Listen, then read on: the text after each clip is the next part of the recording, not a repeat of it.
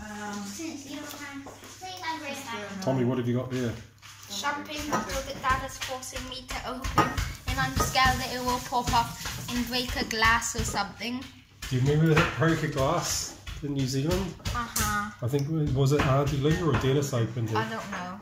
No, I think yeah, Auntie Linda. That's right, and it broke the glass. It went pop and broke the glass. So how do you do it?